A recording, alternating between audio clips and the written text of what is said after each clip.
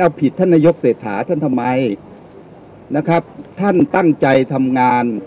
นะครับ นี่ผมพูดจากใจ ผมอยู่ตรงจุดนี้ ผมพูดไม่อาย ผมเป็นองคลักษ์พิทักษ์ท่านนายก และผมก็เป็นองคลักษ์พิทักษ์หลายนายกมาแล้วนะครับ เพราะฉะนั้นเราเอาความจริงมาพูดกัน ไม่มีวาระซ่อนเล้นทางการเมืองนะครับ ท่านนายกท่านก็ทำตามกระบวนการ โปรเซสของกฎหมาย แล้วสุดท้ายแล้วเนี่ยก็มาสรุปว่าตกลงตั้งใครได้ไม่ได้ พี่น้องสื่อมวลชนก็จะรู้ว่าตั้งคนนี้ไม่ได้ ท่านก็ไม่ได้ฝืนตั้งนั่นก็ทำความเข้าใจกับพรรคร่วมอ้าวผมเนี่ยมีอภิสิทธิ์อะไร ผมไม่ใช่มาเพราะท่านคนนั้นท่านคนนี้มาเพราะว่าสติปัญญาผม มาเพราะว่าผมเนี่ยมีสมอง สมองที่จะทำงาน ผมถึงบอกว่า ถ้าผมทำผิดทำชั่วในใจผมมีเนี่ยนะครับ ผมไม่มายืนอยู่จุดจุดนี้เคยบอกแล้ว แล้วผมก็บอกผมขอโอกาส เพราะฉะนั้นประเด็นที่หนึ่งคือ ไม่ควรเอาเรื่องใด ๆ กับท่านนายกเศรษฐา ขอให้ท่านนายกขอโอกาสให้ท่านนายกเศรษฐาเนี่ยได้ปฏิบัติหน้าที่ในฐานะหัวหน้าผู้บริหารราชการแผ่นดิน ท่านไปดูเถอะครับ ถ้ามีตรงไหนว่าผมเป็นคนหิ้วถุงเงินสองล้านเนี่ยผมลาออกวันนี้เลย ท่านไปดูคือหลายคนที่ว่ากล่าวติติงผมไอ้ทนายถุงเงินสองล้านเนี่ย พูดกันอย่างคนไร้สติ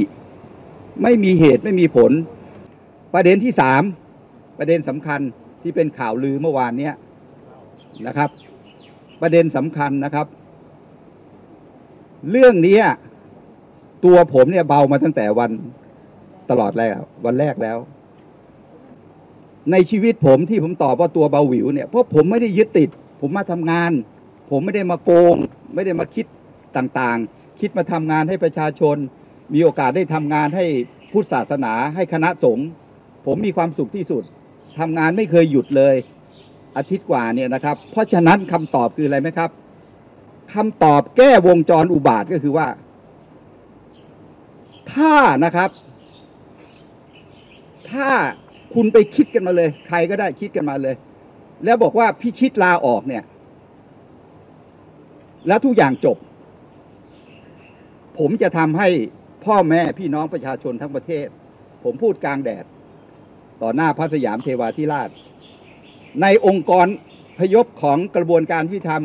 องคาพยพทั้งหลายทั้งปวงเนี่ย ไปคิดมาโจทย์ที่เกิดองค์จรอุบาทอย่างเงี้ย แล้วบอกว่าให้พิชิตลาออกนะ แล้วมันจบปัญหา